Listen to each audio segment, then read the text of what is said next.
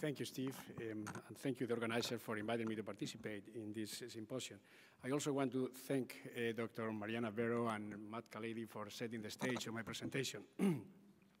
when they asked me about this uh, topic, uh, what do we do after complete response, I added clinical response because he, we knew for sure that we're dealing with a pathology complete response, we wouldn't do anything about it. The challenge is that we have to deal with imperfect knowledge and we have to go by complete clinical response. I think it has been already said before that the standard of care for a patient with locally advanced rectal cancer is chemoradiation, TME, and then chemotherapy. And I think this standard management provides excellent oncological outcomes. Unfortunately, it's associated with significant morbidity and, and long-term consequences for the patient. In the process of treating patients with chemoradiation therapy, we have learned that a number of them had a pathology complete response, Patients with a complete response uh, may have a, a, significantly better prognosis than patients who do not have a complete response. And then the question that has been raised is whether the TME is necessary for these patients. And you might think that this is very new and is uh, something that uh, we are starting to question right now. But when you look a little bit about the history, uh, people have been thinking about this for a while. Uh, I think the options that we have to a total mesorectal excision in patients who had a response to chemoradiation therapy will be either do a local excision or do nothing. Do active surveillance or, as has been called, wait and watch, watchful waiting, deferral surgery, or non-operative management. I'm going to use the term non-operative management for my talk. As I was mentioning before, the idea of doing a smaller operation in patients who had been treated with radiation therapy started in the days when the surgeons were using radium implants. Lockhart-Mummery in, in, in the 1930s was already questioning the need for total mesorectal excision in patients with early rectal cancer that had been treated with radium. In fact, the first case that was ever treated non-operatively with radium was treated at Memorial in 1917 by the, the, founder of the radiation oncology service at our institution. And even as late as in 1930, my predecessor in the job at the colorectal service at Memorial was using preferentially radiation therapy as the only uh, treatment for rectal cancer. So the fact that rectal cancer responds to radiation has been known for many, many years. These are rectal adenocarcinomas, not squamous cell carcinomas. The problem has been that um, with years, surgeons learned that the response to rectal cancer is very variable and unpredictable. And until, until Dr. Kalady comes with uh, um, a way to predict who's going to respond, we don't have a good way today to say who's going to respond and who's not. And more difficult we don't know um, how to identify those patients because the clinical response do not correlate with pathological response. And also, what we have learned from Dr. Mariana Berho is that the response in the bowel wall is not equivalent to response in the lymph nodes.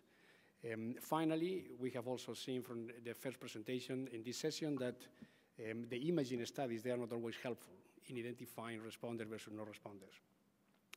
The other reason why um, we have a big challenge to organ preservation is because we have an operation that works. And when you have something that works and that can cure patients, it's very difficult to come up with new idea that might be riskier.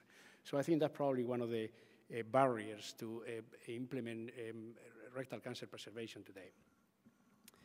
Now, again, just giving a little bit more information about the issue of clinical response versus pathological response, one of my colleagues, Jose Guillem, performed a prospective study years ago in which he um, selected patients with stage uh, uh, 3 and 4 rectal cancer, excuse me, stage 2 and 3 uh, rectal cancer treated with standard chemoradiation therapy, operated them at the standard um, six weeks, and had the surgeons deciding at the, time of, at the time of the surgery whether the patient had a pathology complete response or not. 15% um, uh, of the patient had a pathology complete response. And unfortunately, the clinical exam underestimated the response in most patients. Eh, it was able to identify only three of the 14 responders. So clinical exam, we know that is not very good to determine who has a pathology complete response or not, at least when we do the exam six to eight weeks after completion of the chemoradiation therapy. There have been a lot of interest in defining criteria to identify responders, and this is just a sample of a group of experts who published some guidelines in DCNR years ago and describe the features of complete clinical response and the features of the residual disease. You have them listed in this slide, and you probably have seen them in the literature. The problem is when someone else tries to validate these criteria, this is a group from um, Ronan O'Connell from um, Ireland, of the 31 patients who had a pathologic complete response in the bowel wall, 19 of them didn't meet the selection criteria, so 19 of them, they, they didn't have what is considered a clinical complete response. So we have a big discrepancy, and, and I believe that the, the group of patients who had a pathologic complete response is larger than the group of patients who had a clinical response we adhere to two stringent criteria. Now, this is a, a piece of data from the Z6041 trial. In that trial, patients with a stage one rectal cancer were treated with chemoradiation therapy and underwent local excision. And we did something similar to what Jose Guillem did in patients with a stage two, stage three disease. We assessed the response immediately before doing the local excision. And surprisingly, in this early rectal cancer, we were able to diagnose complete response or predict complete response to a much higher degree. The difference is that in Jose Guillem's study, the PCR rate was 15%. In this study, the PCR rate was 44%. So the way to increase the accuracy of clinical response to assess pathological complete response, one of the strategies is to increase the rate of pathological complete response as much as we can. Of course, the day that we were able to increase the pathological complete response to 70%, like happened in anal cancer, probably we will stop doing surgery, but we haven't got there yet. So one of the strategies, as I will mention later in my talk, is to try to increase the pathological complete response. Now, again, I mentioned before that none of the imaging studies that we use today is very accurate in predicting pathology complete response. You have the numbers there, but I think this has been already um, um, talked before, and I don't need to make any emphasis. So what about the data about local excision after chemoradiation therapy? Most of the prospective data available is for early stage rectal cancers, tumor that they are T1 or T2. There are a number of prospective studies that have been published in the last few years. I'm not going to go over those studies because in those studies the patients were selected to be T1 or T2. The data on, local, on locally advanced tumors, stage 2 or stage 3, comes mainly from retrospective case series. And, and in this table, I summarize some of the most important series. As you can see, the PCR rate ranges from 30 to 73 percent.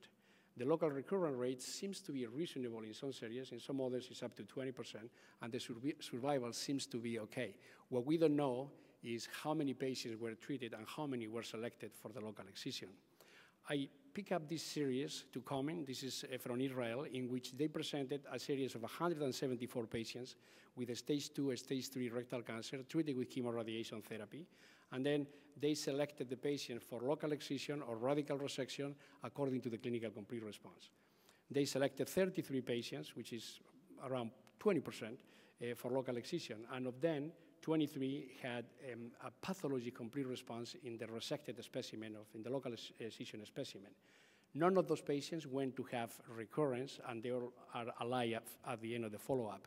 10, 10, patients, excuse me, eight patients had residual tumor and then underwent a radical resection. Now, Dr. Berho mentioned this study before. One of the problems with local excision is that you have to do a full thickness local excision. Less than that, it won't give you enough information because if you have a T2 tumor, many of them don't have, don't have cancer cells in the mucosa or submucosa. You have to get down to the muscularis propria you get to get full information about how many cancer cells are left and what is the stage of the patient.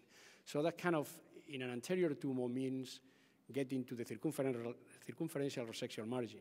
And if the patient is left with cancer in the, in the bowel wall, that might compromise any salvage operation.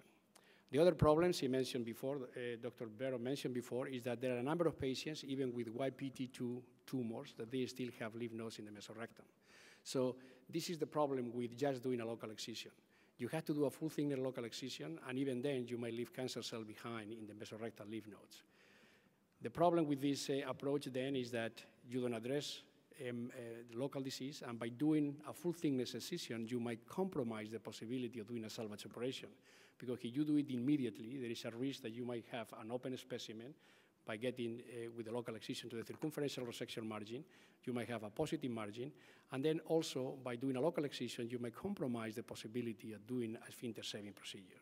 So that's not a very popular approach today of doing um, local excision after chemoradiation. What about non-operative management? We have some historical uh, precedent, the Prince, Prince, Margaret Hospital, where they have treated patients with radiation alone for many years, patients that they were um, not suited for a, a major operation. And they proved that for mobile tumors, 17% seems to be cured with radiation alone. I think probably also most of you had already heard about the experience of the uh, Sao Paulo group uh, led by Dr. Habr-Gama. Uh, she has presented this data extensively. Uh, patients with rectal cancer who are treated with chemoradiation therapy and have a complete clinical response, they are observed. Uh, she compared the outcomes of those patients with a group of patients who had TME and turned out to have a pathologic complete response. The outcomes of those two groups were essentially similar. Um, this is the largest experience in the world, and as I said, she has published this extensively. A group in Maastricht in the Netherlands has been able to reproduce this result of 192 patients treated over a six-year period. 21 had a clinical complete response defined by clinical exam and imaging studies. They compared the outcomes of these 21 patients with another 20 who underwent TME and were found to have a pathologic complete response. The outcomes were very similar. At Memorial, um, uh, one of my colleagues, uh, particularly Dr. Pat Paty, has been the pioneer in this uh, topic, has recently reviewed uh, our experience with the non-operative management, something similar to what Dr. Habr-Gama has done and the group in Maastricht. Some patients, for different reasons, did not undergo TME after chemoradiation, having had a complete clinical response, and he compared the outcome of these patients with another group of patients who had total mesorectal excision after uh, chemoradiation and had a pathologic complete response.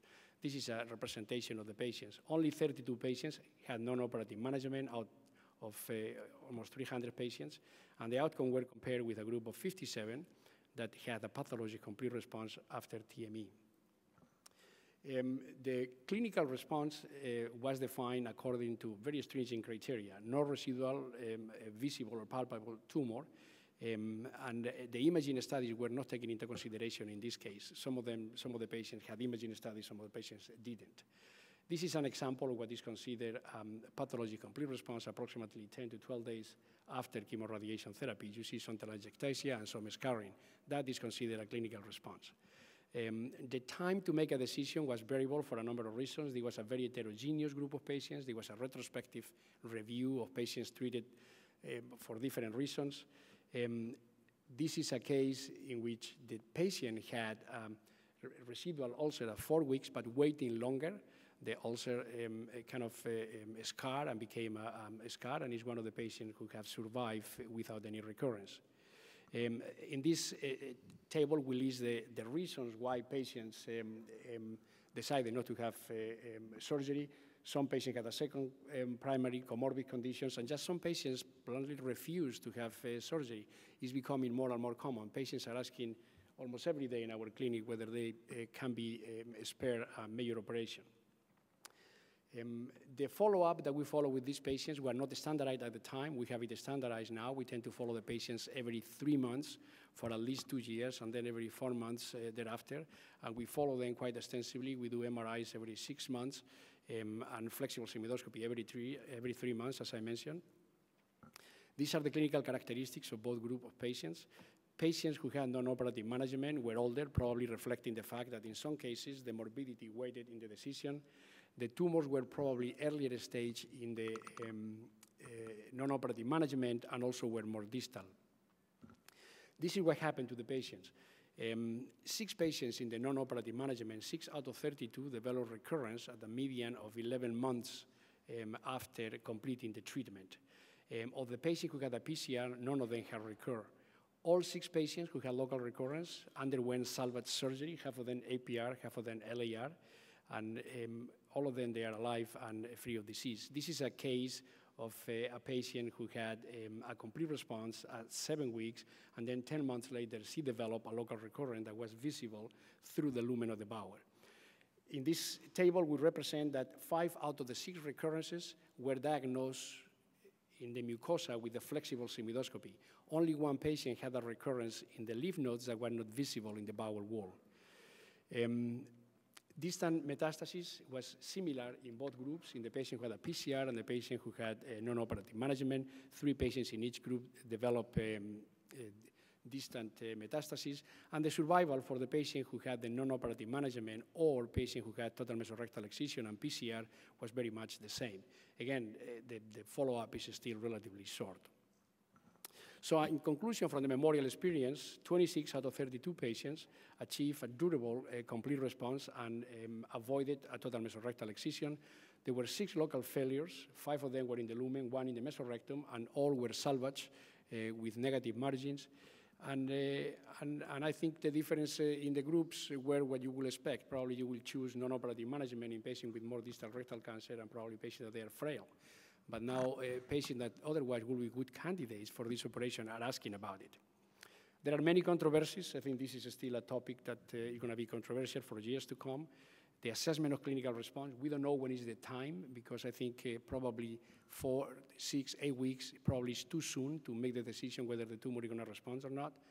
Should we do biopsy? Shouldn't we do a biopsy? Probably the pathological data that was presented before suggests that might not be very useful because the mucosa might not reflect what is left in the rest of the bowel wall. The role of imaging, I think we are investigating new imaging modalities. Um, the assessment of lymph node metastasis still remains a problem. What should we um, do? What are the triggers for, for surgery at any point? Um, I list them there. The use of local excision is very controversial because it might distort the mesorectal specimen at the time of doing the surgery, so that's another topic. Um, just uh, one small note about something that we have done along the lines of trying to increase the rate of pathology complete response. This is a study that we started many years ago in which we started to delay the time of surgery by moving the chemotherapy from the post-operative time to the preoperative time. So we sequentially started to move the chemotherapy that normally is given after surgery to before surgery. And what we have observed is that the PCR rate keeps on going up and up and up. Now, uh, in our last group, patients receive chemoradiation, six cycles of FOLFOX, and then we do TME approximately 20 weeks after completion of the chemoradiation therapy, and the rate keeps on going up. We haven't plateaued yet. So this is one of the alternatives that probably um, we will be using in the near future to try to optimize response and hopefully identify the patient who got a pathologic complete response. So I think in conclusion, I think TME is still the option for most patients with locally advanced rectal cancer treated with chemoradiation therapy. Uh, organ preservation is remarkably well accepted by patients, and many of them are seeking this type of treatment. Um, both local excision and, and particularly non-operative management um, um, seem to achieve very good results, at least short term. We need longer term and more follow-up in these patients. And I think the pro proper selection is going to be critical and trying to optimize uh, response, try to increase the rate of response to be able to identify these patients better. Thank you.